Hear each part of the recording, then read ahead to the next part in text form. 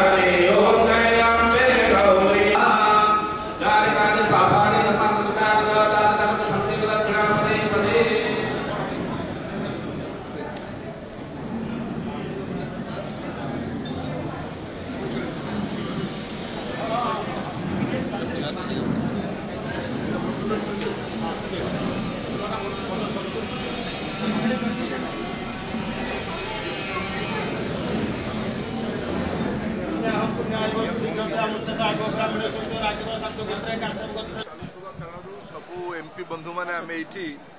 ଅଟକିକି ରହିଥିଲୁ କିନ୍ତୁ ଆଜି ତ ମା ସମଲେଶ୍ୱରୀଙ୍କ ଆଶୀର୍ବାଦରୁ ଆମେ ସମସ୍ତେ ଏଠି